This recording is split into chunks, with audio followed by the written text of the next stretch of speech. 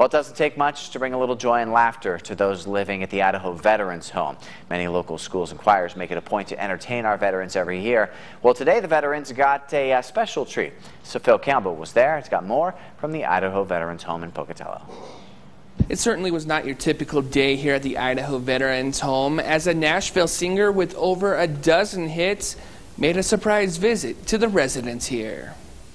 Andy Griggs lives a very busy life. Tomorrow night, he'll be in West Virginia, and with a few hours to spare before his show tonight at the annual POWMIA Awareness Rally, he might think the singer would try and get some rest. But instead, he chose to put on a free concert for the people he calls his heroes. You get a sense of brotherhood with them. I don't know how else to explain it. There's something you can't put your finger on. And I don't know if brotherhood is the right name or not, but yeah, you walk in here and you get that sense of, of a reunion, that sense of a family that only those guys, those bands of brothers know and feel. Andy Griggs has played in venues big and small. The venue today was a common area in the center of the Veterans Home.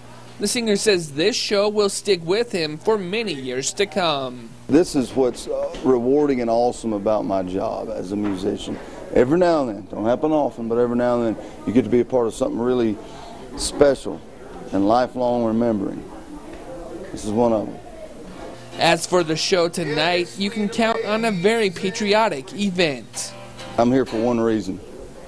It's for these people right here. And it's for uh, it's to support our troops.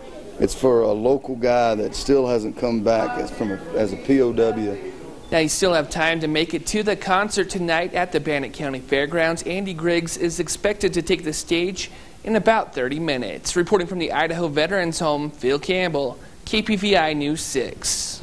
All right, Phil, thanks. The POW MIA Awareness Rally is holding the opening ceremonies right now. Andy Griggs will take the stage at the conclusion of that event. The public's welcome to attend all of the festivities, which continue through tomorrow. There is a price to get in.